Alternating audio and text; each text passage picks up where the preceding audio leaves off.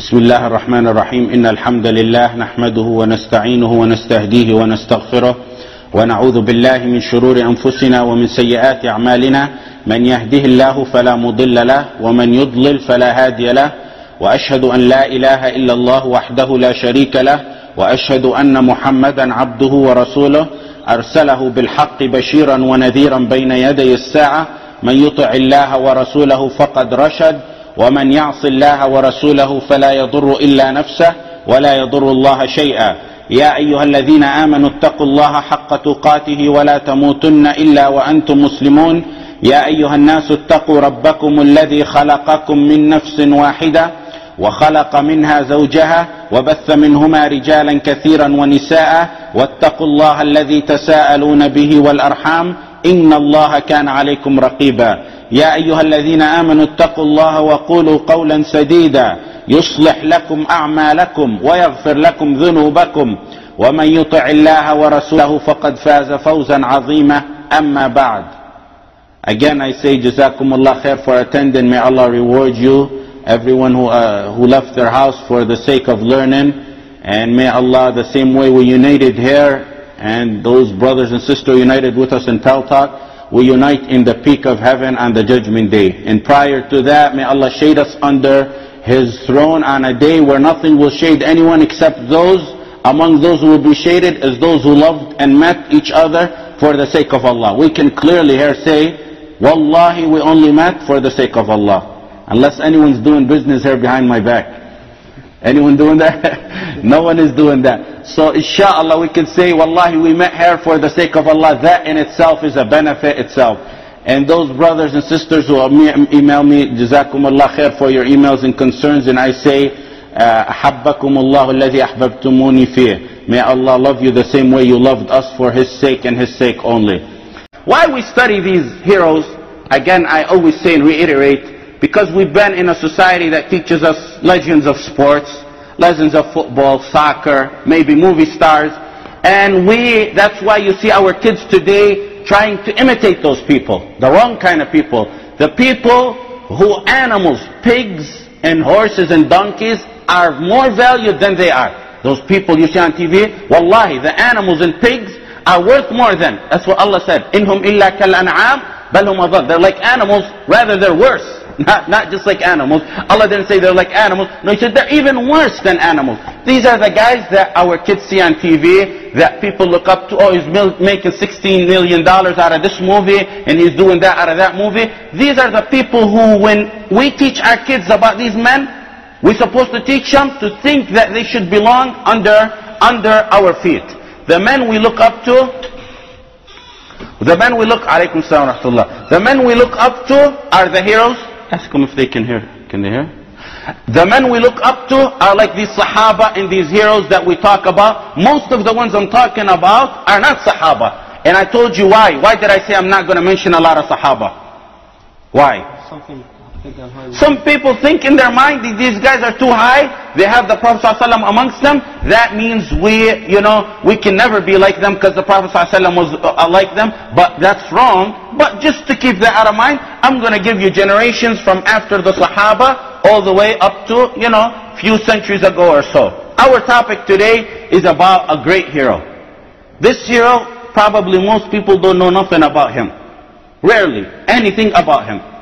But they know his book. Everyone knows his book. It was supposed to be surprised, but Saeed told everyone, you know, Saeed, we're gonna fire him one day. He put it all over the internet, and you know, it's the book that I think everyone in here has it. Anyone here not have Sahih al-Bukhari? Anyone here? You have it on your shelf, Al-Quran, and next to it Sahih al-Bukhari. And we want to look at who this man is. Who this man who wrote this book is. Bukhari. You know what Bukhari means? And I speci specifically say this to those who are non-Arabic. That this heroic man is a non-Arab. He's what you would say if he was alive, living today, say he's a Russian. He's a Russian. Because he's parts of those lands that were taken by Russia. So he's a non-Arab. Look at this hero who I mean nearly every household today, nearly every household today has his book in his house. He's a Russian. He's an Arab. وَإِن تَتَوَلَّوْا يَسْتَبْدِلْ قَوْمًا غَيْرَكُمْ ثُمَّ لَا يَكُونُوا أَمْثَالَكُمْ And if you turn astray, Allah will replace you with people better than you. He's non-Arab. Like who? Who did we take who was a non-Arab prior to this? Salah ad-Din al-Ayyubi. Kurdish. He was a Kurdish, a non-Arab. However, keep in mind when I say non-Arab, their origin is a non-Arab. They learned Arabic. Salah ad-Din al-Ayyubi and al-Bukhari speak Arabic better than I can ever speak it or I spend my whole lifetime learning it. However, when we say they're non-Arab, their origin was non-Arab. That puts the burden on you to go learn Arabic. That's why our class here is supposed to get full. Unfortunately, everyone escaped the classes. You know why? Because we don't have patience to learn and learn the Arabic language. It takes patience to learn it. It takes persistence to learn it. And that's why a lot of people can't say, I want to learn Arabic. Every time we go, I want to learn Arabic. Yeah, well, what are you waiting for? You learn Arabic. What, what's the problem?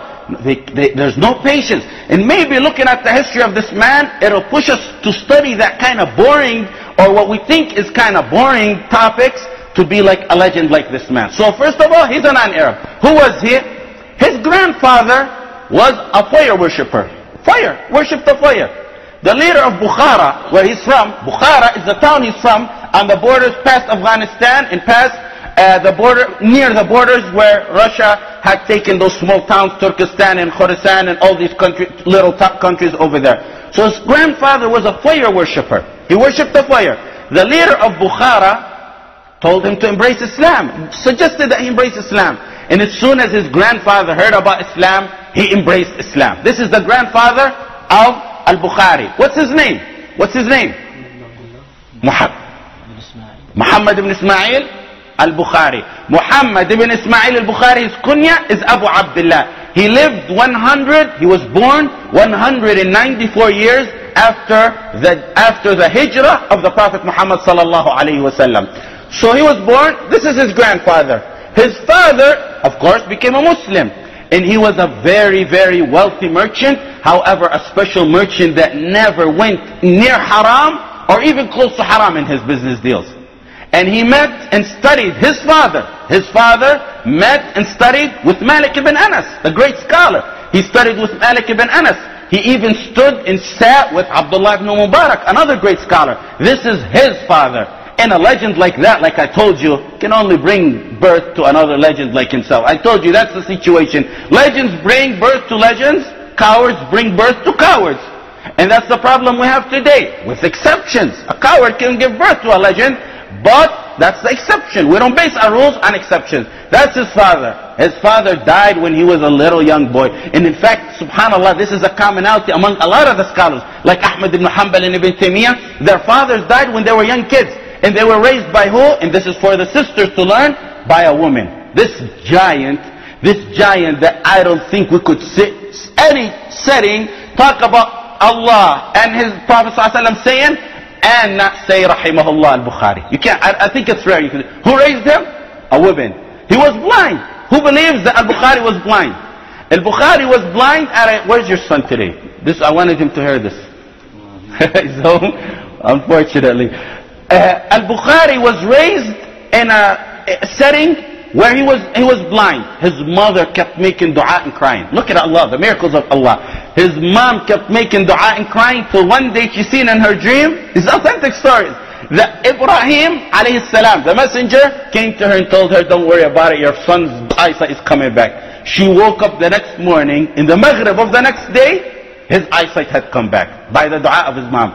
You know, that's why you see, say, never, she kept making dua and dua, I want my son to have his eyesight back. Allah gave him his eyesight back and gave him a mind that I don't think there's a genius like him this and ever lived on this earth after him. Absolutely not. Give me proof.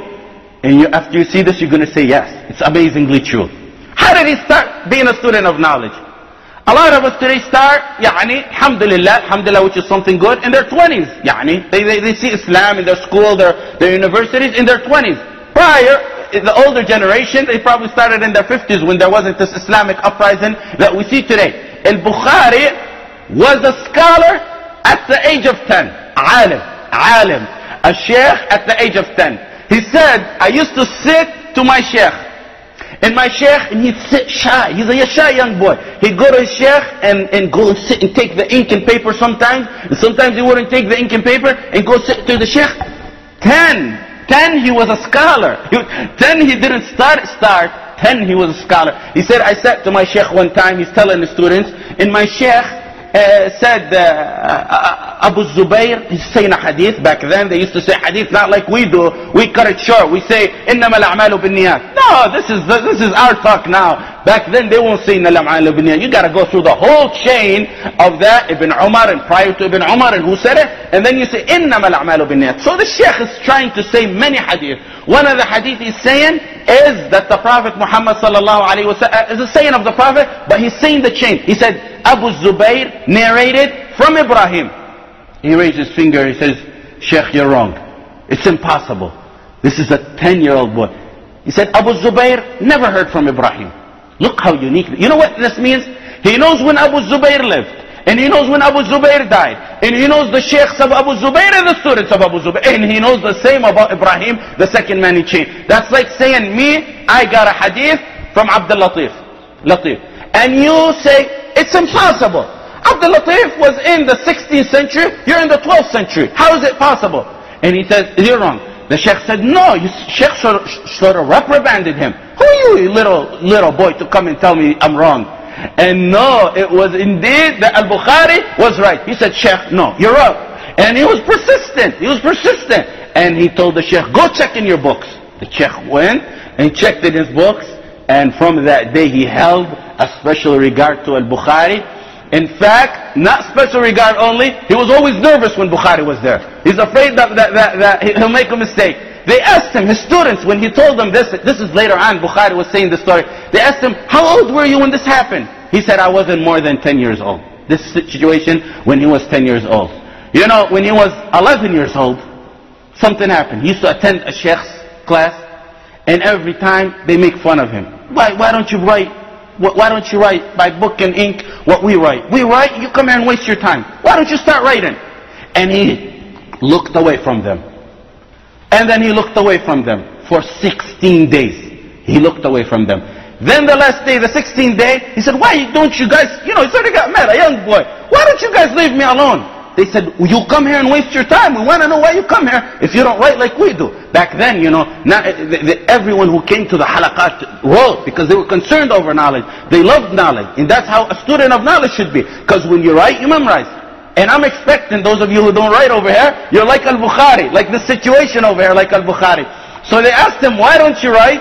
And he said, he said, you know, after 16 days of them pestering him, he said, okay, take your books out and listen to me memorize. Listen to me recite these.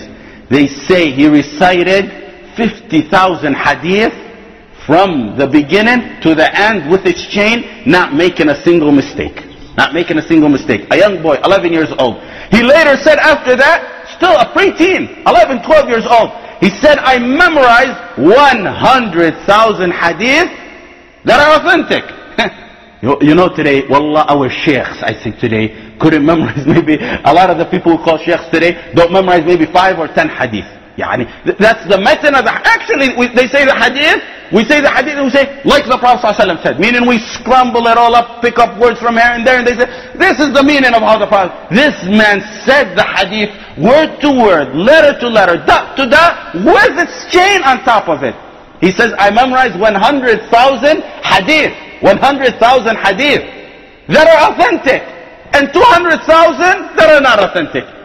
200,000. Why? So when someone says an unauthentic hadith, it clicks in. You, are not supposed to, you know, this is not a wrong, wrong hadith. That's how you see a, a lot of scholars. If you pay attention, inshallah we're going to have a seminar on the four imams. They used to pay attention to the, you know, one time Ahmad ibn Hanbal told his son, go memorize, I think it was a million hadith or so. And after he memorized them all and he was done, he said, oh, these are fabricated hadith. He said, oh, his son went in a rage, you know. You make me memorize all these hadith and, and they're all, all fabricated? Yeah, yeah, so you can know if they're fabricated or not. This is Ahmad ibn Hanbal's son, and this is al-Bukhari over here. He's 10 to 11 years old. His, his students say, when we wanted him to memorize or look at something, he we open the page for him. He looks at the edge of a page, meaning it's so quick of a glance, just like a Shafi'i. Just so, so quick of a glance, and then he has it in his mind memorized. Just like a Shafi'i. You know Shafi'i, same thing. Used to cover one page, so he won't memorize two pages at the same time and get mixed up. He cover one page, so he memorize this page, then flip the page, cover this one, and look at it. Why? Why did these people have this? Allah can create this kind of people today? Astaghfirullah. Of course he can. The problem is simple and clear. It's our sins. When you have problems like this you can't memorize, it's your sins that cause it. Yes, because Shafi'i, one tiny little sin, tiny, what is, it's not even a sin. It's that he went outside his house and he, as he was leaving his door, seen the leg of a woman. And he could no longer memorize. Sit to memorize. The photographic memory is gone. What happened Shafi'i? He goes to Sheikh Waqi' and he says, Waqi' I can't no longer memorize. What made these people the heroes they are, the legends they are, was that they stayed, I mean, is it a sin if you accidentally look at a girl? I don't want no one saying no, it's okay to stare at her. It's not, it's not haram to, if you have an accidental glance, if you turn your eyesight away. النظرة الأولى لك والثانية عليك. But to a Shafi'i, whose standard, Allah kept him in a higher standard, it was a higher standard for him. I can't even glance at a woman, even by mistake. It made him forget that which he couldn't memorize no more. He goes, he goes to Sheikh Waqi' شكوت إلى وكيع عن سوء حفظي. I told Waqi' that I can't memorize no more. فأرشدني إلى ترك المعاصي. Before I told Waqi' anything, he told me, leave sinning. وأخبرني بأن العلم نور and he told me, after he told me leave your sins, he told me knowledge is brightness. Brightness like a light. وَنُورُ اللَّهِ لَا يُهْدَى لِعَاصِ The brightness of Allah doesn't go to a sinner. So watch out, Shafi'i. He repented, he asked Allah, and he went back to how he was prior to that. This is what made them what they are. Memorizes, looks at a glance. Al-Bukhari glances at a book like they say. Glances, meaning he doesn't stare at it, and he's got the pages memorized. Allah, from guidance from Allah. وَاتَّقُوا اللَّهِ وَيُعَلِّمُكُمُ اللَّهِ Fear Allah and Allah will teach you and Allah will help you not only in the knowledge of the Sharia but also in the knowledge of your studies and your schooling. Al-Bukhari is now 10, 11, 12 year older and he's running from Bukhara. He's got all the knowledge of Bukhara.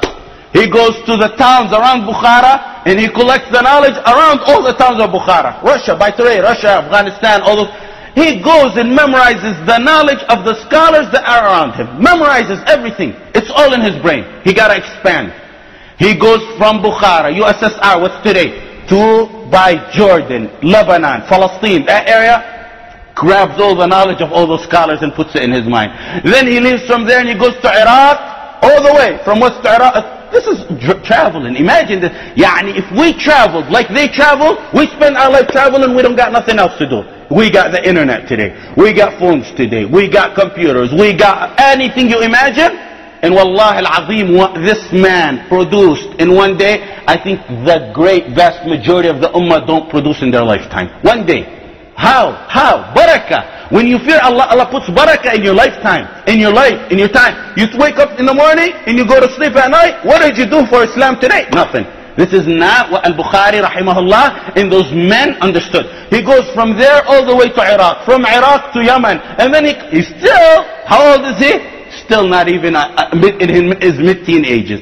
When he's 16 years old, he's got nearly the knowledge of all the area except Mecca and Medina. So his mom and his brother say, we want to go to Hajj. The best opportunity for him. He meets up with them in Bukhara, and they go down from Bukhara to Mecca, and they going for Hajj. And he's going for Hajj, but he's going into something else.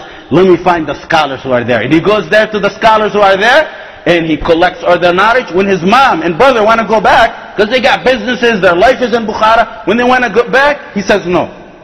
Can I please stay here, mother? 16-year-old boy. 16-year-old teenager. When we look, we say, oh, you know, when I'm 40, I'll do something to Islam. This was a 16-year-old boy. And his mom says, yes. Yes, you can stay here in Mecca. And she leaves him in Mecca and she goes back. At 16, this wasn't a scholar alone, but a alama and an imam. Imam is possibly the highest rank you could get. At 16, he began to write books. At 16, he began to teach people. At 16, he had over a thousand scholars. A thousand scholars, 1,080 scholars. It said that he had at the age of 16. Just at the age of 16, a 1,080 scholars. Look at that. Thousand. You know what scholars mean? Meaning he writes and he takes notes and he memorizes and he goes to the other sheikh and he asks him. And the other 1,080 scholars at the age of 16. And he goes to Mecca, learns in Mecca. He's done with Mecca. He's got all the scholars. He's covered the globe. He heads to Medina. And he stays in Medina that same year. The same year, he's still 16, and he heads to Medina, Al-Madinah Munawwara, and he sits and studies there, and as he's studying there, that's when he literally takes out his notebook and pen, and starts to write book. He starts with one of his books, it's the Tarikh al-Kabir, for Bukhari, it's a book about, he called it, he has three books in history. The, the big book, he called it, the medium book, and the small book. He started with the big book. He said, I used to sit next to the Prophet ﷺ's grave. Of course, it's not for barakah, you know. We don't believe that kind of, you know, Sufi stuff. But he said, I sit next to where the Prophet ﷺ's grave is, and I used to, without light. Look how much light we have today. No light, no computers to edit, to compute. You know, no, it, probably to get the ink, he needs hours to go collect the ink and to go get, get the feather and go find paper where the paper is. No, it's all in our houses today. And we're zero. Not, I wish we were zero. We're negative. We're negative. We're not like these people. Why? Because our sins do this to us. We don't take Islam as our worry. Look at this. I mean, we talked about heroes of jihad. Look at these heroes of knowledge. Look at these heroes of knowledge. When he put his mind to knowledge, look what Allah made out of him. So he sits and writes the Tarikh al-Kabir.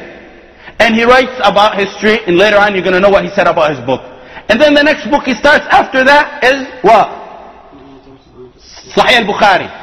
What is the name of it? What's the name of Sahih al-Bukhari? Sahih al-Bukhari's name is not Sahih al-Bukhari. Anyone want to take a guess? Basil. Where's Basil? Basil, what is it? It's not, that's not the name of it. This is just the name. Allah chose it for him. Why? To carry on his legacy. If you know the name of Sahih al Bukhari, his name is not in it. Al-Sahih, Al-Jami' Al-Musnad, Al-Mukhtasar. This is the real name of Sahih al-Bukhari. It's not Sahih. Today, open any cover. Where are you going to find in your Sahih Bukhari? You guys got to translate it out here home. Sahih al-Bukhari. Anyone have it on his home? The real name of that book, in the what he named it, Al-Sahih. Al-Jami' Al-Musnad Al-Mukhtasar. The true, the authentic, the summarized of the authentic of the Prophet ﷺ saying. Why did, why, why did it later on turn to be Sahih Bukhari? This is a sincere man. A man who only wanted this for the sake of Allah. He didn't know or didn't think that his book is going to be what it was, what it is today. His book is what it is today, and not only was it the same book, but Allah changed the name to know Al-Bukhari. So you can say Rahmatullah al Bukhari. So you can say, may Allah have mercy. You don't say the author of Al-Jami' Al-Sahih Al-Muslim. Al-Bukhari. We all know it, but Al-Bukhari. When you be sincere, Allah, Allah gonna give you, I say it and I always say it, Allah gonna give it back to you in this life, He gonna give it back to you in the life after. You do a sin, He gonna hit you in this life, and He gonna hit you in the, in the life after. Al-Sahih, Al-Jami' Memorize this guys, I see a lot of note taken. Al-Sahih, Al-Jami' Al-Musnad, Al-Mukhtasar, this is the author, he's the author of this book. Why did he write this book? Why did he write this book? He wrote this book because of two reasons. And I hope these reasons apply to us today, to our students, to those who come to learn here. Two reasons. The reason is, the first reason is a dream he's seen. He's seen in his dream the Prophet ﷺ come in, thanking him in some way for deterring from people who, who, who are degrading him or doing something bad to him. And when he interpreted this dream to the scholars, they say, you're going to defend the Prophet. He's seen himself defending the Prophet in his dream. He's, they told him, you're going to defend the Prophet Muhammad sallallahu alaihi wasallam by pushing away any lies away from him. You know, a lot of people are going to lie about the Prophet Muhammad sallallahu alaihi wasallam, so you're going to do that. It's stuck in his mind. How? Still, not yet. The second one is another dream like that, is that he was walking, he was walking in his dream, and the Prophet ﷺ was there, and a lot of people around him. And the one walking in his footsteps is Al-Bukhari. Everyone else is out coming on the left, on the right, and all over. What is interpretation of that dream? You're going to be the one who defend him and walk exactly in his footsteps. Exactly. Two dreams. Look at these dreams. How many of you seen the Prophet ﷺ? We didn't see him because we don't think about him.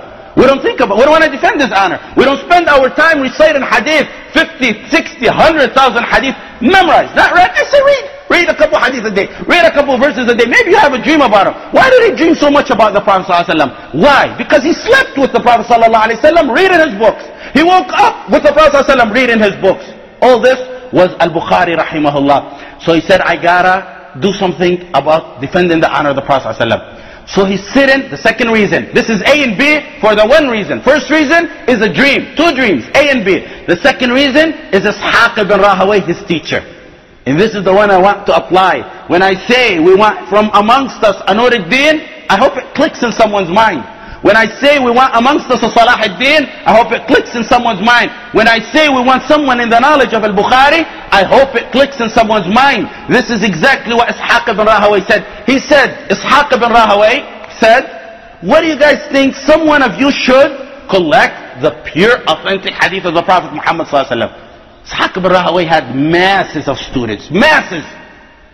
It clicked in one guy's mind and he couldn't let it go. And as soon as he remembered the dream with what Ishaq ibn said, he started writing Sahih al-Bukhari. How long did it take him to write a Sahih al-Musnad of the, the one of the authentic saying of the Prophet Muhammad sallallahu alaihi wasallam? What would you say? How would you say? All his life? A day? Two days? 16 years. That book that you got today? 16 years. He said, I collected this book I had in my mind when I wrote it, 700,000 hadith memorized. You know what 700,000 hadith means? You know what 700,000 hadith with the chain mean? Yani you guys come here, a lot of you come here every day. Wallahi, I'm shy sometimes I don't know some of your names. Wallah. You know what it means to have 700,000 hadith?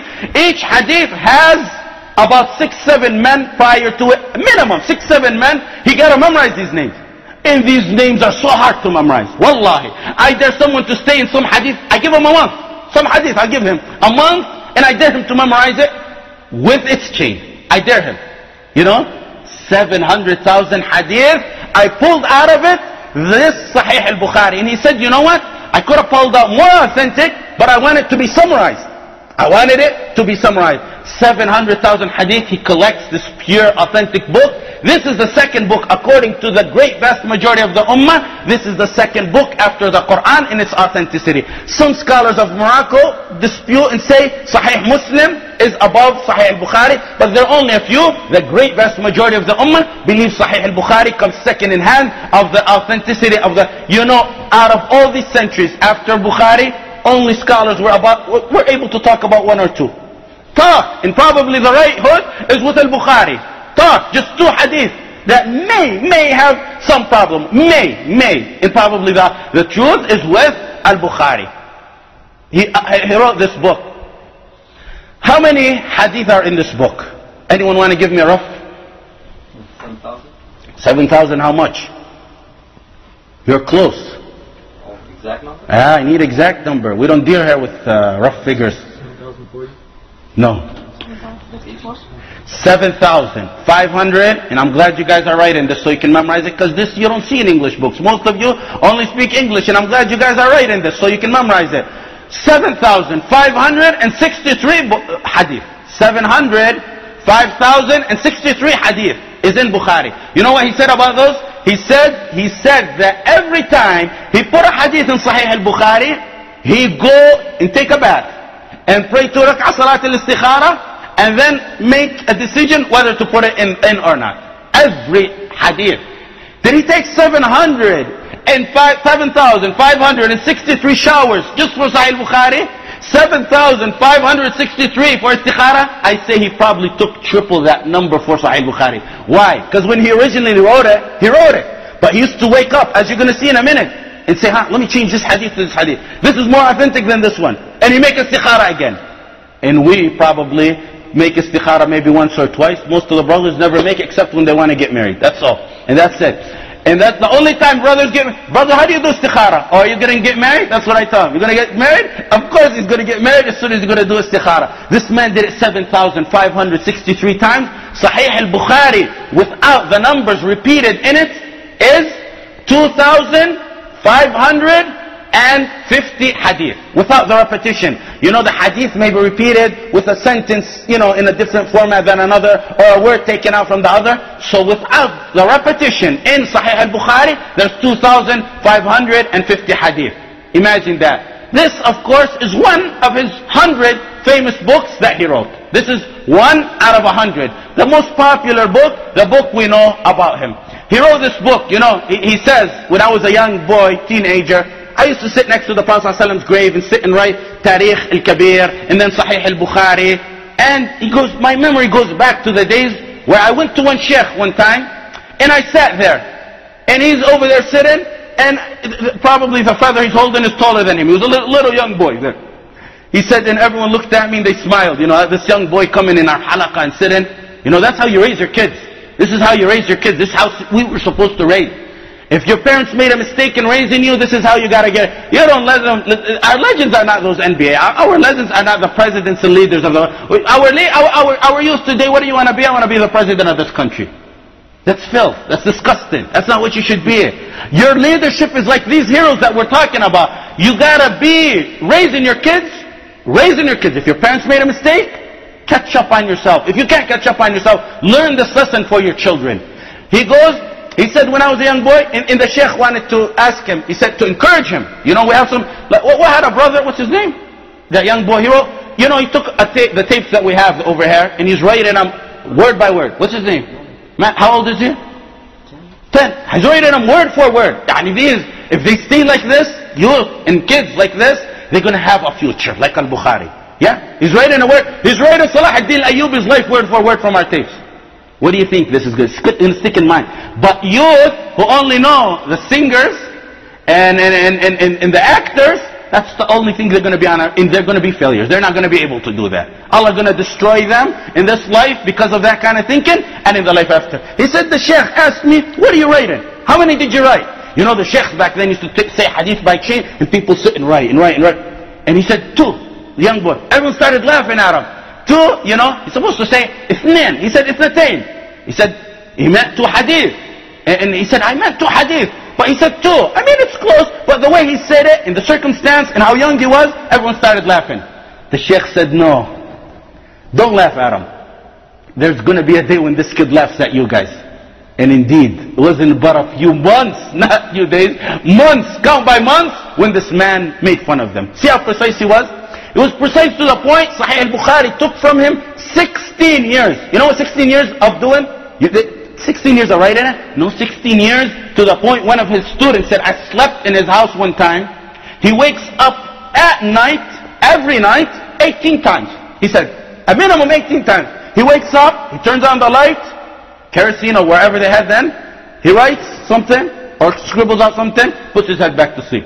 What, what, what, when he's, he's praying at night, he probably sleeps a few hours at the end of the night to get some rest. He's praying all night long. This is a abid. These are worshippers. These are not just people who focus on knowledge. These are first worshippers who cried and begged and made dua for the sake of Allah. So what did he do? He gets up, corrects this mistake.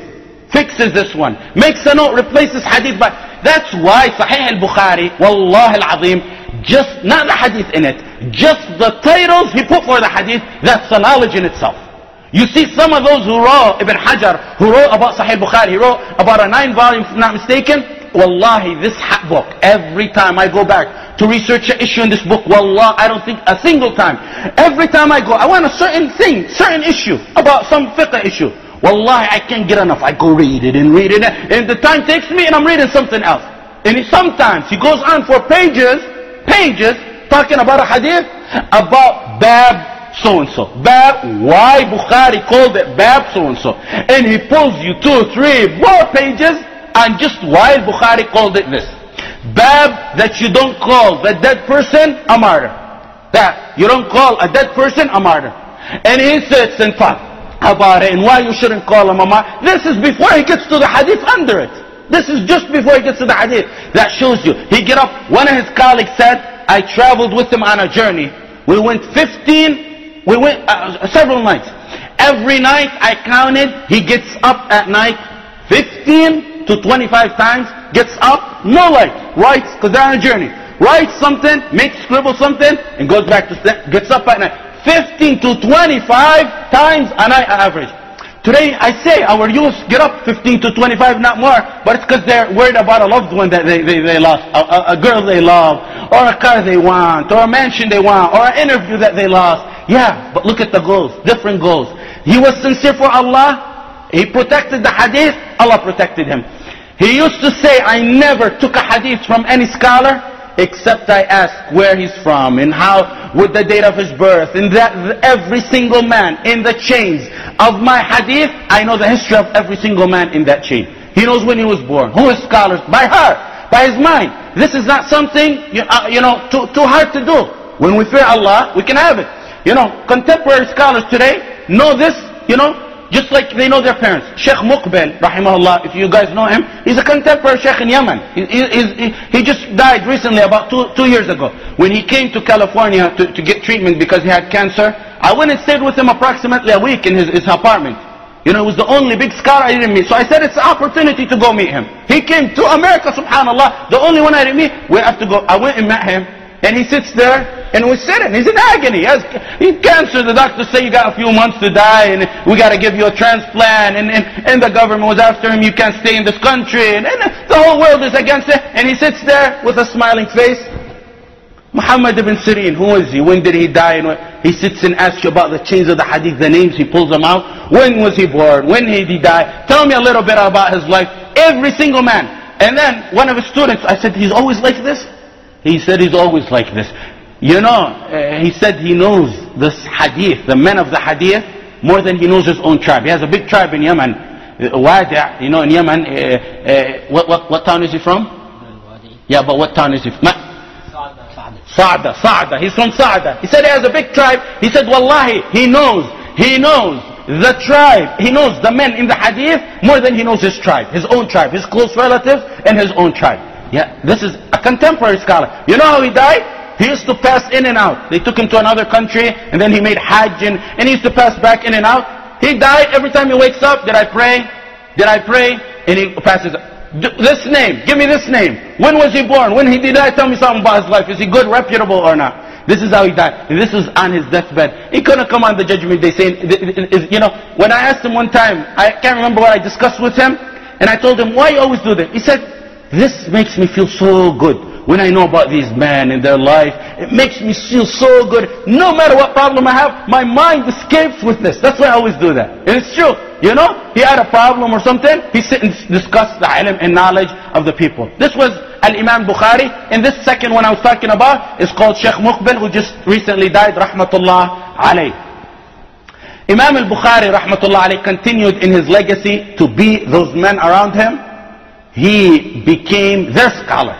The ones who taught him later became his students. He used to enter a town, one of the narrators said, where he was a student in. He said, it's a small town. He said, I counted just the people on horses. Just the people on horses. It was 4,000 people on horses. Other than the ones on camels and other than the ones walking. 4,000 people. He said, 4,000 people in a small town. He went one time to Iraq. You know Iraq, they said, we're going to see this guy. Is he a whole bunch of lies?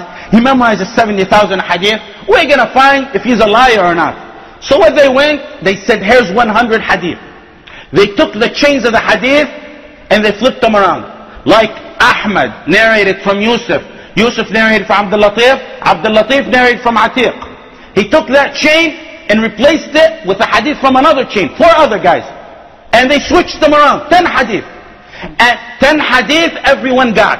And everyone, there was ten people among the masses of people sitting there. So when he came in and he sat, they said everyone after he's done lecturing us, you ask him about this hadith. So the first one got up, he mentioned ten hadith. He said, I don't know it. Next one, I don't know it. Next one, four, five, six, seven, eight, nine, ten. I don't know it every time. Then he said, you done? Said, I'm done. Said, Good. Anyone, any more questions? The second one said, I got. He pulled out the next ten hadith. You know these hadith? He said, I don't know it. I don't know it. I don't know it. Ten times, I don't know it. The third one, the fourth one, the fifth one, the sixth one, the seventh, till the tenth one, till they were done with the 100. Then he said, are you all done? They said, yes. He said, let's start back with you. You say the hadith like this. And he repeated the hadith back to them exactly as it was. He put the right chain on the right hadith and he said it back. He said, we give up. We give up.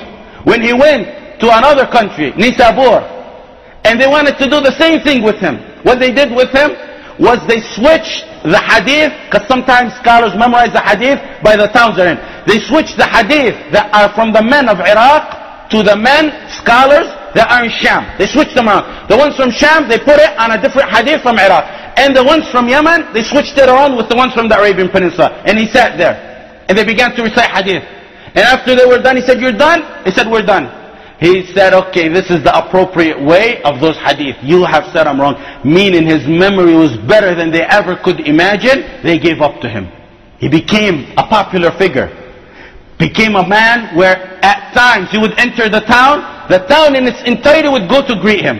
And on other hands, sometimes no one would greet him because he had enemies. When you grow that popular, you got people who are jealous, people who hate you because you're on the right path, and you also got on the right other side some pious people.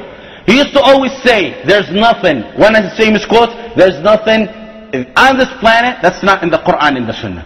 He memorized so much hadith, he knew that every detail of your life is in the Quran and in the Sunnah. You know, uh, one of his famous quotes is Allah, in a firm way, he said, Allah is not going to punish me for backbiting or talking about people.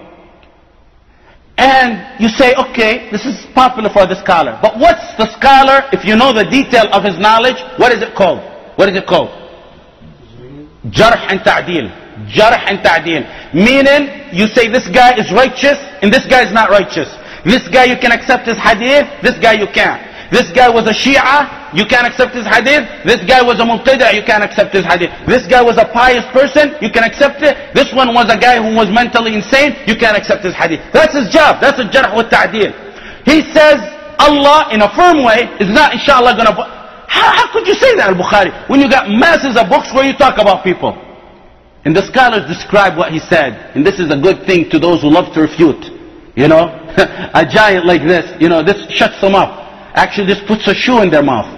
Those people who want to refute, all they want to do is refute. Wallahi, guys, guys, wallahi, guys who can't say wallah, wallah, they can't say Bismillah ar-Rahman ar-Rahim, right? Uh, brother, we're going to refute this guy. It he's, he's Khawarij, he's Khawarij, he's Hizbi, Hizbi. His, they can't pronounce the word, he's Hizbi. Where would you get this from? They want to refute. The two days, two days into Islam, and they jump into Islam, they want to refute. Learn from Bukhari, the one whose job it was to refute. You know what he is, they said by his meaning of his word? He said, you know, you know, these, by the way, these Hizbi and this, all this junk and Khawarij and Murja and all these guys, they became so big, they refuted themselves. You can't, this guy refutes this guy, this guy, and within themselves. And that's all they worry about. Knowledge, no knowledge. Ignorance, ignorance. They can't say, Wallah, Wallah. I met people, Wallahi, they can't say, Ashadu an la ilaha illallah wa anna Muhammad Rasulullah in the appropriate pronunciation. But uh, he's a Hizbi. Hizbi, he's a Khawarij. Khawarij. What's Khawarij, brother? You know, these guys are ignorant. These guys should be shunned. These guys are not from the path of the Sahaba radiallahu an. Learn from the path of the Sahaba. This man right here, Sahih al-Bukhari, the one who wrote Sahih al-Bukhari. You know what he said when he said, Allah will not back, I will not backbite anyone? Allah will not charge me for backbiting anyone? They said that he means, if you look into his book, when he talked about a liar, a deviant liar, you know what he said about him sometimes? He's questioned, his credibility is questioned. When he says his credibility, he doesn't want to say a word about her so he can be asked about it. But he wants to hint the ummah, watch out from this guy. And he wants to do it in right way. Did he say, oh Allah, we caught a tape on this guy and he said in the 500 tapes we pulled out a tape where he said a weak hadith. you know, this guy, this is their job. We pulled out. This guy said, no, be worried about learning. Refuting, leave that for the scholars. It's not your business. He said, is a liar. That's, the scholar said the meaning of his word is he's a liar, a deviant, someone who's a deviant. A liar, he says, he's questioned, his credibility. He puts there, when he knows that, his credibility is questioned. You see how unique that is? You see how fearful of Allah is? To the point he's sure that he can stand before Allah. You know, one time, and other things that happened to him, scholars like this are always tested by bums and, and stupid people that want to shoot down these scholars. One time he entered a town, no one came up to him. And group, small group gathered around him. Then someone who was jealous of him told them, this guy doesn't even know how to pray. So Bukhari said, he says, I don't know how to pray. They told him. He said, yes. He said, Wallah, if he comes here right now, I give him 10,000 hadith on prayer alone. 10,000 hadith on prayer alone. You know, if we memorize one hadith on prayer alone, that's good. He said, let him come here, I give him 10,000 hadith on prayer. Another time he went in a town, no one listened to him. He walked away. He left. He don't want to listen to me. He left away, and one guy came right after him. He said, you're the guy they say you have 70,000 hadith? He said, yes, 70,000 with their chains. And with the knowledge of who those people in the chain are. This was Al-Bukhari, rahmatullah alayh. His, his wara in this life, in his fear of harming people, was to the point, one time he went, you know, this guy wasn't a man who just took a, a, a, a pad and, a, and an ink and just wrote. One time they went, him and his colleagues, and they sh- practicing sharpshooting. Siham, nastabah. They went to, you know, to, to start sharpshooting. And Al-Bukhari hit his aim, and it went through his aim to a log behind his aim, and it cracked the log in half, and that log was holding up like a porch in front of the front yard of some house over there. That porch tilted a little bit because that log broke. And it was a problem for Bukhari. You know, if you tell me that, I say, let's book. Let's get out of here. I don't know if a lot of you would do that. I say, let's get out of here before the police come and the insurance and you got a problem with that. Uh, but Al-Bukhari, it was a problem. He said, stop here. And his face turned color and he's worrisome. We got to go talk to the owner. They went to the owner. They said, Al-Bukhari was shooting and he, he sent some of his students and he said, Al-Bukhari was shooting and we want to pay you. How much is it? And the man says, Al-Bukhari did that? He said, yes. He said, tell him I, the land and the house and everyone in the house are under his command, whatever he wants to do in respect to Al-Bukhari. Yeah, he was, he was also, he was also known to be a, a businessman. But, but you know who taught him this? By the way, who taught him this? His father. His father, I tell you, when you have a pious father, a knowledgeable father, he's going to carry this legacy on to the son. You're going to see it by watching. You're going to inherit it in your blood like your father had it. Usually with exceptions. His father on his deathbed, Ismail, who was a multi-millionaire of his time, a rich man, on his deathbed, he's laying down, he said, Wallah al-Azim, Wallah al-Azim, there's not a single dirham or a portion of a dirham I got in my wealth that's from haram. Could you say that? Listen to this, listen to this, especially those who asked me about interest in that the other day. Listen to this, listen to the other half. He said, Wallahi, I have not a dirham or a portion of dirham, that there's doubt in it. Meaning if there was doubt in it, I left it. If it's haram, I left it. Look up you say, you say, you know, someone's going to give you a whole bunch of wealth, or you're going to buy a property, and in that property's interest, and that is an investment, or someone's giving you a million dollars, and you say, you know what, man, if I don't take that, how am I going to live? It's the other way you look at it. That's the stupid way. That's the retarded way of thinking. You got to think of yourself as retarded when you think like that. The other way of thinking, no. If I don't take that, it's better for me. If I take that, I'm going to spend it on my kid in the future. If I take that, my son's going to come out retarded in the future. If I take that, I'm going to spend it on my mother's health. I'm going to spend it on my father's health. I'm not going to have a pious man like Al-Bukhari. He gets a son like Al-Bukhari. Ismail in his grave, Allah's raising his position. Every time we say rahmatullah on his son. Why? Because he's the one who made his son what he is. He's the one who inherited to his son what he is. He's raising his position. Why? Because of things like this. He left something for the sake of Allah. Allah replaced him. Think like that as a Muslim. Don't think like the other people. And Al-Bukhari rahmatullah alayh was a businessman. Don't think he was just a man into books. These guys were agents of governments who took monthly salary and sat at home and wrote books. No, no, no. These weren't people who benefited from their work.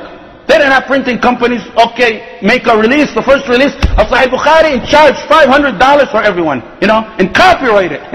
Scholars copyright it. No, you can't publish it again.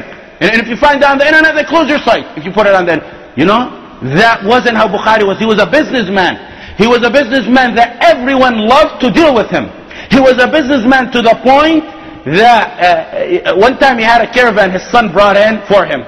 And the people came in, the businessman came in, and they said, the Bukhari, uh, we give you 5,000 profit on that. He said, 5,000? Okay, go back home, we'll see. To a normal person, you didn't give him an answer. The next morning, someone comes in and says, Bukhari, we give you 10,000 profit. He says, no, I already sold it yesterday. To a normal person, you're not going to be held against that. Had he said, yeah, I accept, he didn't say that. But fear of Allah, just something vague, he said, take it and take it for 5,000 because I said, just come back in the morning. It may be a hint I, they, they, they felt that it was theirs and it belonged to them. He let down 5,000 profits. But what did Allah do? Look at, look what Allah did to him. We say Bukhari in the setting, how many times we said Bukhari rahmatullah alayh? He's in his grave now and Allah's raising his position. Because of what? Things like this. You think nearly. As a Muslim, we don't think, wattaqullah. Fear Allah. Allah gonna replace something better than that small little thing. $10,000 someone gave, give you in haram. An investment that you're gonna invest in haram. Five, ten years and something gonna happen to it and Allah destroy it. Like the brother, alhamdulillah, brother Adil. Adil said he's not gonna buy a house. He was planning on buying a house in a certain way. and he found out things, and he said, that's it, I'm not going to buy it. Yeah, that's how a Muslim thinks. It's investment. It's an investment too. You know, he thinks, oh, you know, if I buy this house, I'm going to get $500 a month pure profit into my pocket every, every single month. I don't sit and do nothing. This is it. Right? That's how landlords think. and, uh, and so you, you think like that. But then you say, if you're a Muslim, no, Allah going to give me something better. Wallah al-azim, Allah's going to Allah's going to give you better. That's what the Quran says. That's what the Prophet ﷺ says. So Al-Bukhari continues in his legacy. The scholars talk so much about him. I can't even, I don't even have time to talk about what they said about him. I'll tell you, Ibn Khuzaymah, Ibn Khuzaymah, who is he? Who knows? He is muhaddith. He has sunan. He has a sunan. He has a collection just like al-Bukhari. Of course, not as authentic as it, but he has a, a collection like al-Bukhari. He says there's no one under the sky who the sky sheds over him who's more knowledgeable in hadith than this man. Muslim, rahimahullah, Muslim, the second book, he said when he, every time he walk in on, on a Bukhari, let me kiss your hands and your feet. Muslim tells that. Look how the scholars say. One time, one time, this is a unique story. One time a scholar, and Bukhari was sitting with a scholar that you're going to know the story about, and the scholar talked about Bukhari. He kicked Bukhari out of his class, out of his setting. Because, are you going to see why in a minute? So, Muslim packed his bags and went. The Sheikh knew who Muslim is going to be, and he's a man who's like Al-Bukhari almost. He said, come back. Muslim said, I don't want you or your hadith. You don't humiliate my sheikh like that. You know how, they respected each other? They had honor for each other. They had respect for their scholars. They had honor for their scholars. For someone who teaches you hadith. He said, I don't want you. Although he could have took a collection of him and went. He said, I don't want you or your hadith. As soon as he be talked about al-Bukhari, packed his belongings and left to teach him a lesson. So eh, that's what Muslim said. And there's a saying, I sum it up, wallahi, there's so much saying, I can't even go through them, about what the scholar said about Al-Bukhari, the muhaddithin. Someone who said that his knowledge weighs the knowledge of all the scholars of his time. He's, he's the, the, the, the you know, the, the, he, the collection of all the knowledge of his time is in Al-Bukhari. Not in his time, and of all prior times. Scholars in Mecca and Medina said, the most knowledgeable amongst us is Al-Bukhari. But Ibn Ja'far said a unique quote, and, and just take this quote, and, and it's an amazing quote. Ibn Ja'far said, I think his name, first name is Yahya ibn Ja'far. He said, if I was able to take from my life, in days from my life, or moments from my life, and give it to Bukhari, wallahi I would do that. Why? Because when he died, a great amount of knowledge died. When I died, it's only one man, although he was a scholar himself, Ibn Ja'far. He's talking about who? Al-Bukhari. If he died, I wish I can give him from my life so he can live more. This was how they treated each other. This is how the scholars look up to Al-Bukhari. How generous he was. His income was reported to be approximately 500 dinar a month. His monthly gross was 500. How much you get from that, save from that Al-Bukhari? Nothing. When they told him, Bukhari, save a little bit of that. He was wealthy. I mean, 500 is pretty good. Not a multimillionaire, but pretty good a month. And he spent it all. They said, save from it. He says, no, what's in Allah, what Allah says for me is better than that which I have in this life. Where did the money go? You know, it's reported that he had a land, he was a landlord, so be, inshallah we're gonna, he, he, he, was, he had a land, he, he used to rent out for 700 dinar a month. A land, one of his lands. And the owner of the land, what's khiyar in English? Cucumber. Cucumber, Not cucumber, al-qatha, shil qatha. But that cucumber, it's a special kind of cucumber. It's known in the Arabic countries. It's, it's the one with like little thrones, almost like little thrones coming out of it, like a cucumber. Bukhari loved that. He loved that very much. So the guy, he, he, he, he rented out his land to, every time the cucumbers came out, those uh, uh, came out, he would take and send to Bukhari a little bit, one or two it said. And when watermelons came out, he'd take a little bit from that and send one or two, I mean, not, not a whole big, and send it from where he's at to Al-Bukhari. Al-Bukhari, just for that, would take 100 dinar off of the yearly salary. 100 dinar, just for two or three, and he's living right there. You could take a couple hundred off your rent. okay, uh, uh, this is how generous he was. He was generous to the point, next to him, when he was teaching, was a bag of gold all the time.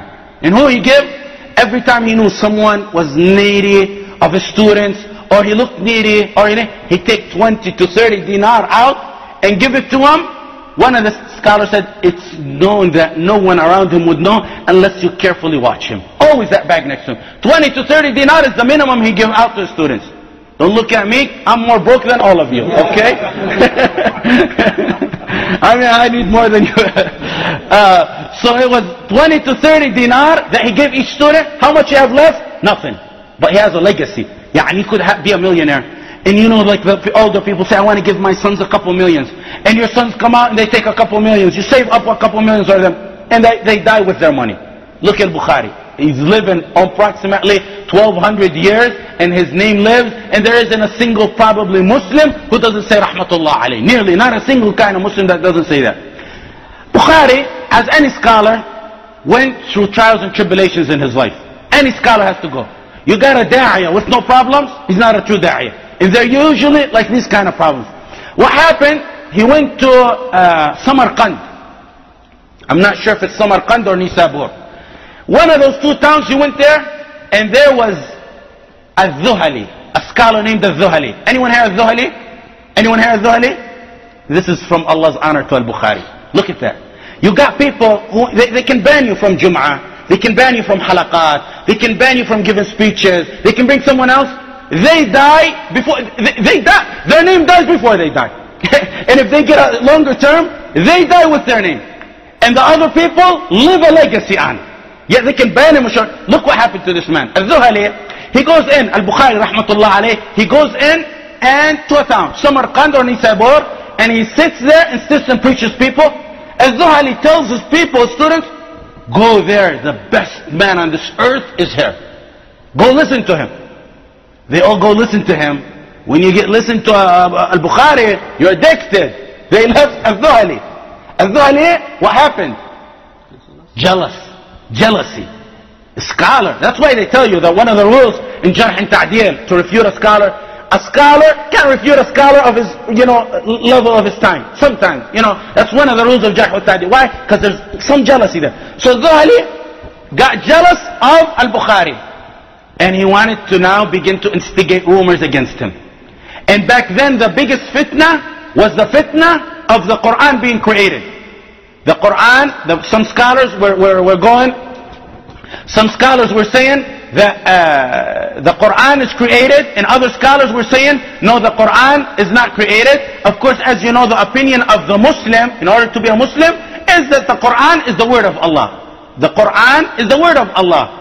So uh, he began to instigate that he, Al-Bukhari is a deviant. He says that the Quran is the is the uh, creation of Allah, which is a big deviance. If it's true, that's a big deviance. So he went and spread that. So someone came in the halaqah, he was sitting in, in Nisabur or Samarkand, and he's sitting there uh, in the halaqah, and uh, the people come in, and one man comes in and says, Bukhari, is the Quran created or the word of Allah? He ignores him. Second time, third time, fourth time. You know, so sometimes you don't want to ask a question that, answer a question that causes fitna. So he kept ignoring him. When that man was persistent, he said, the Quran is the word of Allah, uh, is the word of Allah. And the voice, when we recite, you know the voice. The voice is a creation. Is your voice a creation? Your vocal cords, your throat, all that is a creation. And asking and, and testing people like this is a bid'ah. Oh, they took this and they began to fly. Oh, this guy says it's a creation. He said, did he say the Quran is? He said, the voice, the voice is a creation. Yes. But they took it to tamper and they took away all his students. Took away all his students. And look what he said, his last quote for those who like to refute. Testing people like this is a bid'ah. Testing people. One time I get brother, he said, uh, brother, he's, he's never been to my halaqah ever. He come one time and he says, what do you think about speaking against rulers in public? That stupid idiot, he's American. He's American. He's African American. You know, I don't want to put him down because he's color, but I want to tell you his background. He's African American. He's living in America. What rule are you talking about? What rule are you? President Bush? You talk about people talking about bad about President Bush? If you're talking about overseas, we're not overseas over here. But these guys got a, a this is a Down syndrome they have within them. They're all alike. All these people are alike. Wherever you go, you come in, you go to Medina, they got the same thing. You know, Down syndrome, the people who are retarded in Down syndrome, they all look alike. They all look alike. I don't know if you noticed that. You find a Chinese and American, you put Down syndrome, they both look alike. And the same with these people. The same with these people. You go, what do you think about the Imam? Brother, we're not talking about the Imam. We're talking about Tahara. We're talking about Tahara. What, what do you think about speaking public about it? Uh, questioning people like this is a bid'ah. What do you got? If you have someone, you, you heard something about them, that's a different story. But to go questioning and quizzing people like, like this is a bid'ah. Because you know why they do this? Why people like to refute? Because they're ignorant. That's exactly what Sheikh Muqbil told me.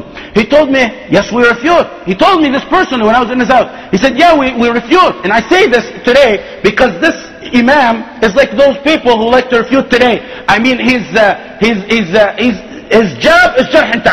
But I wish the people today learn the method of jarh and from Al-Bukhari. So he said, you know, the, the man came to him and, and, and uh, I, I asked Sheikh Muqbil, I said, you know, I kept asking him about certain people. What do you think about this and that? So why you keep asking me about these people? He said, stick with learning and teaching your people knowledge, wallahi. And don't worry about the rest. If once in a while there's a danger that comes, you gotta speak about it. I said, but look at you. You got this tape and this tape. And I named it. He said, you know those tapes? We got over 30, 40 halaqah a day in my camp. He has a camp in Yemen. 30, he has about 3,000, 4,000 students. He got 30, 40 halaqah a day. Out of the whole month, he has one tape that comes out refutation. He said that tape becomes more popular than all my 30 per day, per month. Add that up, that one tape becomes more. So why don't we take the method of Al-Bukhari? So he said to that man, and quizzing me like this is a bid'ah. They took this and began to take away people. Bukhari became alone. This giant that you see today, that you have his book, became a lonely man. People come to him, ah, one or two, once in a while, you know, to see what's going on. One, guy named Ahmed comes up to him and says, Ahmed, uh, uh, Bukhari, uh, Abu Abdullah, his nickname is Abu Abdullah. Abu Abdullah, there's the people saying you're a kafir, saying a kafir. And he has a direct quote with true authenticity. Whomever says the Quran is a creation is a kafir. He said that. They still say, no, we don't accept it. He said it. No, we don't accept it. He said, some people say you're kafir. He said, the chain, and then the hadith, whomever calls a Muslim a kafir is a kafir. Whomever calls a Muslim a khariji, this is not a hadith, but it's based on the hadith. You call someone a khariji, what is it? You're khariji. If you call someone a murji, you're a murji. If you call someone a sururi, you're a sururi. If you call someone, you're a madkhali or a jami, you're a jami. Whatever you call your brother, you're the same based upon the origin of that hadith. And the, the thing is, someone called him a kafir, he said whomever calls a Muslim a kafir, he is the kafir. And what happened after that is that he told him, so and so has been talking about you. He says, وَأُفَوِّضُ أَمْرِي إِلَى اللَّهِ his scholar Dhuhli is spreading rumors about you. I leave it up to Allah. For He said, you don't make dua on him? He said, you know my making dua? He said, don't you know the hadith? He brings the chain of the hadith and he says, be patient, where the Prophet ﷺ said, be patient till you meet me around the house. In fact, one of the things about it is that you be patient until you meet the Prophet ﷺ around the pond, around the Prophet Muhammad ﷺ. So that's one of the things you do, is be patient until you're on the pond of the Prophet, meaning you're going to get trials and tribulation, be patient about it. He said, he raised his hands, al-Bukhari. Ahmed said, he raised his hand, you make, you think he make dua? This is his enemy who destroyed him. He destroyed him. He took his students. He spread the rumor around the globe of his time. Bukhari was now a lonely man. This giant that lived this legacy, he lived 62 years. 256 years after the hijrah, he died. He lived from 194 to 256. 62 years he lived. Towards the end of his life, he was a loner. All alone. No one to... He said he raised his hands to Allah, and he said, Ya Allah, I come and I left my town to teach these people. Ya Allah, Ya Allah, I left my town to... You know they only talk about me because of jealousy. You know that what they say is a lie. You know they only talk about me because it's a jealousy. And Ahmed is saying, I was waiting for him to make dua his He said, that was it. You think a man, pious, legends, going to make a dua on his brother? Whatever they do, whether they kick him, whether they ban him, whether they don't invite him, whether they do this, you think he's going to make a day? No, because give him. I said, this is in honor of al-Bukhari. Who knows the Dhuhli? I guarantee, I mean, not 99, more than 99.999% of the Ummah don't know him. Who knows Muslim, who knows, I'm sorry, Dhuhli, who knows Al-Bukhari? 99.99% of them, this is the honor he gets. Yet he shunned everyone from around him. Which one is better? To get him around you for a certain period of time, two, three years that you're gonna live, and then that's it. Or to die alone or two years, and then have the legacy of the Ummah after you. That's how you look up. This wasn't the only problem in Bukhari's time. This is exactly what happened to Ibn Taymiyyah. This is exactly what happened to Ahmad ibn Hanbal. Ibn Taymiyyah died in prison. Imagine that legend. That legend that you know his books. Ahmad ibn Hanbal, two years in prison. All these scholars that you know, they had problems in their life. When they died, Allah raised them supreme. He takes his bags and leaves. He said, I'm leaving the town. You guys don't want me? I leave. That's how Muslim is. Your sleeping bag is on your back and you go. They oust you from this country, you go. You go to another place. They oust you from this masjid, you go to another masjid. There's always a path for you to give da'wah. Don't say, oh, that's it. They oust you from all the town, go on the internet. They oust you from the internet, your family, your surrounding, your neighborhood. Always, always you have a path to give da'wah. Don't look down on any path of the da'wah. So he leaves the town. Ahmad ibn Hanbal said, uh, Ahmad, Ahmad, the, it wasn't Ahmad ibn Hanbal, it was another Ahmad. He said, I walked him out to the outskirts of the town, and he sort of waited three days. Maybe they come back to their senses. Maybe they come back to their senses. But of course, people like that, they're not going to come back to their senses. He said he waited three days. Wallahi, no one walked him out of the town but me. Masses invite him, and one man walks him, he's a shun man. He goes back to Bukhara. This is his first problem with the scholars who were jealous of him, who envied him and destroyed his credibility. And this is what they're doing today. This is what they're doing today. Are the enemies of Islam and the modernists. Both are on one path. They do one of two things. The first thing, they kill or imprison. That's the path of the weak. They kill or imprison our scholars who have the, the righteous mind, who follow the Quran and the Sunnah. They assassinate and kill. The second thing, which I think is worse, they destroy their credibility. Bring up a rumor so no one will listen to him. Bring this lie upon him on him. Spread rumors. Wallahi, you want to hear rumors about yourself you never heard of? Become a da'iyah. Become a da'iyah. Be alone. Go on the trend. You go on the trend of the people. You're going to go to the masjid. They're all going to hug you and salam on you. Become a da'iyah. And just say neutral things. And see your enemies. See your enemies. Wallahi, I've heard things I never imagined in my life. The brothers come and they tell me this thing and that thing. Yeah. But I come to the realization when you're a you have to. I say try it. Try it now. Go and become a da'iyah. And teach people whatever you want to do. Or teach them right from wrong and that, boost their iman and see that you're going to get rumors about you, things you never imagined. And this will happen. So this was his first problem. His second problem was with the leader of Bukhara. The wali of Bukhara. Look at this pious man. He's alone. He walks in in Bukhara, his hometown, and they greet him a welcome where they say, the narration says, the dinar, the gold and silver was thrown upon his head in honor of him, and the rice and everything. You know, it was a huge celebration. Muhammad ibn Ismail, our son is coming back to us. They all greeted him. He sat there, he began to teach again. It revived. His da'wah life revived again. But he was soon hit. Wait, Omar, wait a little bit. Wait. He was soon again, he soon revived. He soon he was revived again. His, his da'wah life went up. And what happened when he went up is that the leader of the town of Bukhara told him, come to me Bukhara, uh, come to me Bukhari, Muhammad ibn Ismail, come to me, come to me and teach me and my kids Sahih al-Bukhari and teach my kids al-Jami' al-Kabir or al-Tarikh al-Kabir, you know, the, the, the, the big history book he wrote. I want those two books to teach it to me. That's what he said. Look, this pious man who never put his foot by the, the, the, the palaces of the rulers. He could have had prestige. He told them, you wanna learn Bukhari and that history book I wrote? You come and sit with the other people. You don't got no...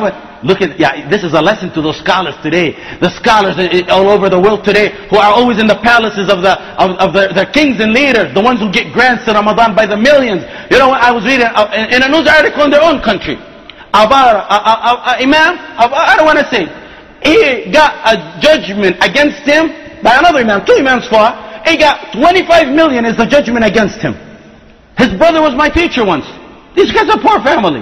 The other one got a job, I don't want to say it. And it, it, how do you get 25? This is the award against him. The property is worth more than 45 million.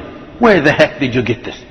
And when you get this from a leader, when you get this from a leader, I ask you by Allah. I ask you by Allah. Unless you're an angel and you get an award similar to this, million, half a million, and the leader gives you half a million, are you going to be able to say that interest bank is haram over there, destroy it and take, take it down?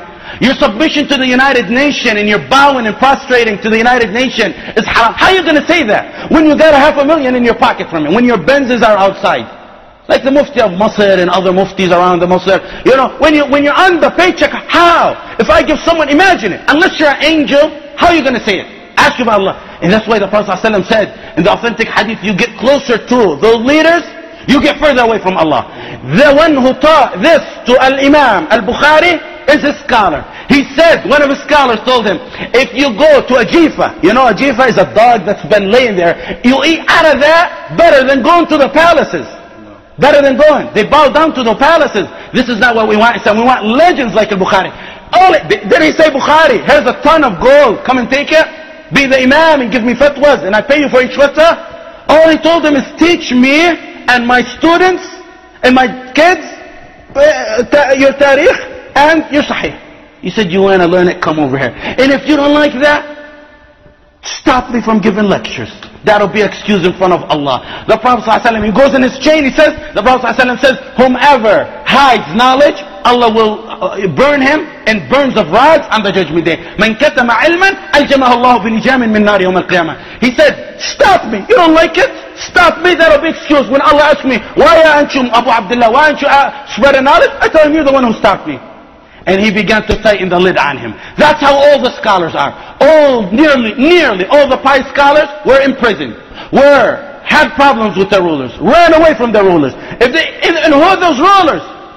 Pious and just people. Rulers who when, when, when one, one woman gets oppressed, they take their entire army and annihilate them. Yeah, they have problems, but nothing compared today. The cowards who open, today you hear that the, the Saudi tractors are taking American, uh, uh, American bombers and taking them to Kuwait so they can bomb their brothers in Iraq. Today, airplanes left from Saudi and Kuwait to bomb Iraq. Today, today. And, and what? They call me, these are leaders, and you're Khawarij if you talk about these. These guys need to be insulted, need to be exposed. The ones who bow to the kufr in the United Nations. How could you be an imam and a sheikh and not talk about the oppression of the United Nations? How could you? How could you? The banner that everyone under their oppression, not under their justice, they humiliate and kill all the Muslims. This is what Al-Bukhari taught us. This is the wala al-bara. Muhammad ibn Abdul Wahhab and the pious scholars taught us. Not the cowards who you go into their offices to tell them about the situation in the ummah. They don't got no time for it. No time. He got time to collect Benzes. He got time to collect palaces. He got time to get the king's awards and the president's awards. But he don't got time for his brothers. This is what we need. Al-Bukhari, knowledge with the true stance. True stance without knowledge? No. Knowledge without the true stance? No. We want them hand in hand. Knowledge in the true stance. He gets ousted out of his town. The lid gets tightened upon him. He puts the sleeping bag and he leaves. On his way out, he stays in in the in the in the you know in uh, the, the the outskirts of uh, Bukhara in a guest in a friend's house, and he stays there for a certain period of time, and he hears some stories say he hears he's supposed to be summoned to meet back to the leader of Bukhara, and he makes du'a, oh Allah, don't make me and him unite. You know, I don't want to meet him. And then he says, he makes the du'a, the word, the world, the globe, where am I going to go? He's been ousted out of everywhere. No more students. He said, Ya Allah, take my soul. That's it. I've had enough in this life. I spread what I could. And he asked Allah that that be the end of it. They said, then he got, you know, he felt uncomfortable staying in his friend's house. So they were leading him, two men, the guest, where he was staying a guest, they were leading him to the camel or the horse he was at, one on each side. And they said, as he was just about to ride, he fell very ill and he began to sweat like nothing we've seen before. And that was the last thing we had. Uh, Rahmatullah alayh, this was 256 after the Hijrah. One of the biggest scholars, his name is At-Tawawi, and he said in his dream, he said, I had a dream that I, I seen the Prophet I said, look at this dream. This is a big pious scholar who was saddened over Bukhari when he knew. But prior to that, he had a dream. He said a few days, he uh, said I had a dream that, that I seen the Prophet Muhammad and I seen him standing like he's waiting for someone. And I said, who, who are you waiting for? He said, I'm waiting for Al-Bukhari. He's going to come and visit us very soon. He said, Wallah al-Azim, when I asked the people of Bukhara and around it, when he died, it was the exact time I had that dream. Pious dream. This is what he got. And look what he got after that. That pious dream, and look what he got after that. They buried him. Few people, couple people buried him. Legend like that gets buried by a couple people. What happened after that? They bury him under the dirt, and after that, they realize what a mistake they did. After they bury him, they realize. They see some stories, Allahu Alam in their authenticity, Nur Kamara out of his grave, and it got to the point that the people regretted what they did. And this is haram to do. But the ignorant people did it. They began to take the dirt for barakah on his grave to the point there was no dirt left. It's haram to do that. But the ignorant people did that in honor of the mistake that they did in leaving him behind. And they've even built around him a, a fence, a wooden fence, so the people stay away, so the dirt was there. And they took that down and they all went to his grave. This is the legend that we're talking about. Of course, that's haram to do, to have barakah in anyone who's dead or in his dirt. We don't do that to the Prophet ﷺ himself. But I'm trying to show you that after he died, they realized what a mistake they did, and that's how all the scholars we had. You know, Al-Albani, rahmatullah alayh, who was, his knowledge and his specialty is the same specialty of, of, of, of Muqbil. You heard Sheikh Al-Albani. Actually, he had a dream, almost like Albani's first dream. I heard it on a tape, and it's available on, on the tape. An Algerian woman called Al-Albani, rahmatullah alayh, before he died, and she said, Sheikh, I have a dream and I want to tell you. I seen the Prophet ﷺ standing, and you were walking right behind him in his footsteps. Not you. She told him someone. So he said, yeah, that's a good sign and very good sign. And he started praising. She said, that person behind him was you. I seen in my, she doesn't know him, never, never, you know, never sat with him, never anything. She had this dream. He began to cry and cry and the tape, it's available on the tape to the point that he told everyone in the house, please leave, leave. I, I, I need to be alone. And he hung up and he was crying, crying like a little baby. Eh, because you know these are uh, these are things that show the right path. Look what Allah made out of these giants. And Albani, same thing. I heard, I heard maximum. Yeah, and if you want to exaggerate, the ones who went to Al-Bani, you know, 4,000 for Albani. Albani is just like you know similar to Al Bukhari in the knowledge. Yeah, and today the students of knowledge, instead of going and looking in the hadith, authentic or not, they go look up Al Albani. What Albani say? He saves us time. Because Albani went to the old quotes and he, and he said what's authentic and what's not. And we say, just like Al-Bukhari, Rahmatullah alayhi, Al-Albani. And you're going to see people, just like Al-Bukhari said about Albani, Rahmatullah alayhi. Because Albani did so much to serve the Sunnah, anyone who's a student of Sunnah is going to say, Rahmatullah alayhi. How many people went in his, know, 4,000 The animal, the kafir, other than that, other than that, you don't mention him good. Albani is going to get you guys, and your children, and your grandchildren, and your great-grandchildren. Knows Albani from Albania. جزاكم الله خير. I'm sorry I took long today. وصلى الله على سيدنا محمد وعلى آله وصحبه وسلم.